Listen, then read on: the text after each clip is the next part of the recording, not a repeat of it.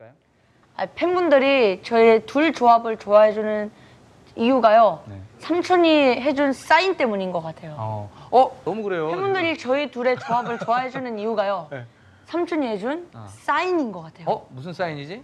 이제 삼촌이 동원이 아빠 될 때까지 음. 삼촌이 지켜줄게라고 아. 네, 사인을 해준 적이 있거든요. 그러니까 그때 기, 기억나요 그때 그 경연 사인 아직도 제가 갖고 있어요. 그거 저희 하동 카페 가면 카페, 카페. 해봤 어. 해놨어요 액자에다가. 맞아 기억나요 그 사인. 네. 때문에